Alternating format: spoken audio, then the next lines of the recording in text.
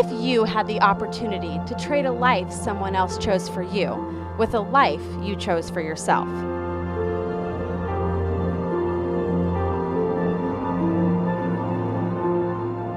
Former UC Riverside women's soccer standout Heidi Garrett is out to help women answer just that question.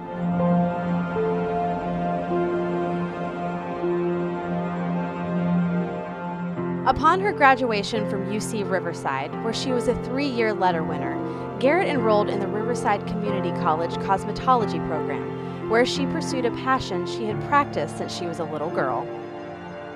I played soccer growing up. My entire life I played since I was four. Although the focus was on soccer and school my entire life, I had a side passion, which was hair and makeup. After a series of fortuitous events, Garrett became an instructor for the Trade Foundation, a nonprofit dedicated to restoring victims of sex trafficking and abuse by teaching women the art of hairdressing, manicuring, makeup application, and salon business.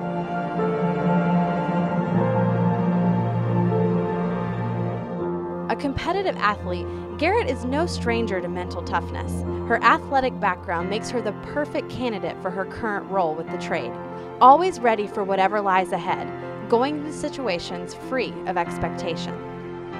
That mental toughness translates into what I do with the trade um, and going to Cambodia and being in a new environment. Those types of things that are indescribable, but you know that they're from your background in competitive athletics. Those are the things that really helped me in going to Cambodia. In the scheme of life, scoring that soccer goal in that game that I played four years ago doesn't matter anymore. But what we're doing with the trade, what the trade is doing matters. You're changing lives. With most I'd say third world countries, you're dealing with people who, when I say they would do anything for a dollar, I don't mean that they are desperate. They have no other choice. When they need to provide for their families, they will do anything to, to do that.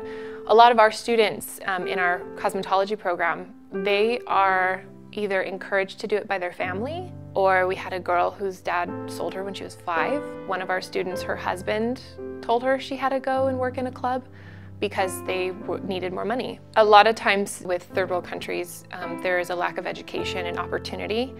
So I understand the mindset that these women have because the salary that they can make working in a club or a bar, and when I say they're working in a club or bar, I don't mean that they're just serving drinks or food, they're, they're servicing the customers um, sexually. A man comes in and buys a girl. And if it's something they've been doing their whole life, and the only thing they've been told they're good at that's the only thing they're gonna wanna do because, well, what else am I good at?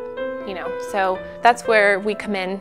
I was there specifically to teach hairstyling and each instructor kind of would teach their strength or something they felt most comfortable with. I was supposed to teach braiding and here I'm like teaching them just a regular three strand braid and they're looking at me like, okay, yeah, here, I'll do it for you real quick. Okay, what's next? And I'm like, I feel like I should be sitting in their seat and they should be teaching me. For women who had never been complimented on their character, inner beauty was a foreign concept. The trade made sure that changed. While teaching the skills needed to run a salon, the trade's instructors realized they had an even bigger mission than the one they had set out to accomplish. By them being so skilled in the art of hairstyling, it allowed us to spend more time working on their insides and working on who they are as women. The women, used to hearing how beautiful they looked, had never had someone tell them they were beautiful for any other reason. We really realized the need to show them, hey, you're worth something and you need to start realizing that and believing that in yourself.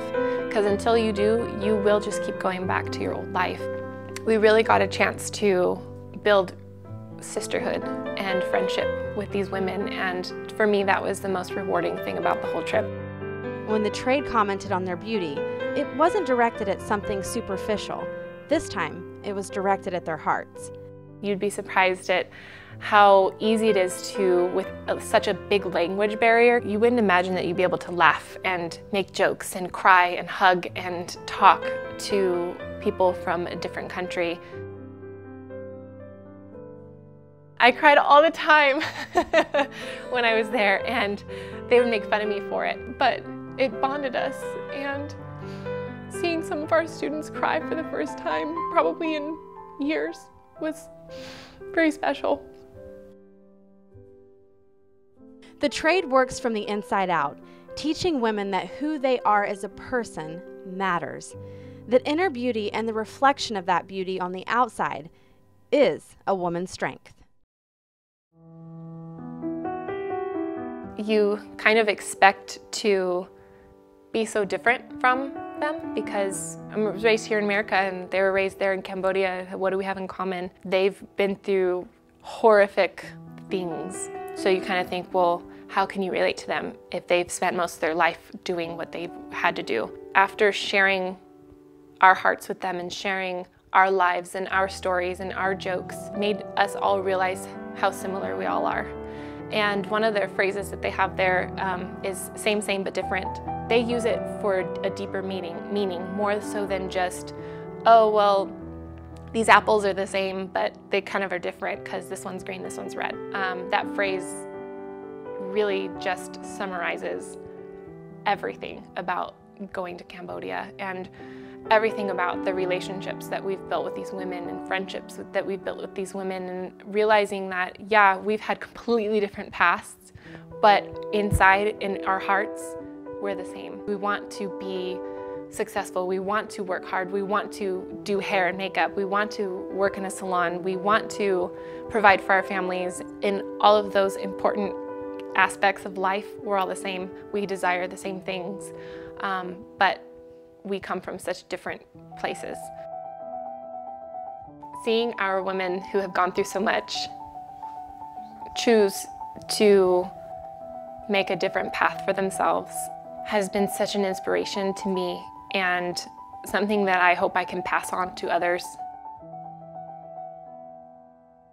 Our goal is not for us to be the hero that comes in and saves the world. We really want the people to save their own people. And the only way to do that is to start a domino effect and to start an education process to um, allow women to get an education that will allow them to then affect the next generations and their surrounding communities. So that's our long-term goal. Um, time will tell what how long that will take. Time will tell um, if that's even a realistic goal, but that's what we're working towards because um, we believe in in these people.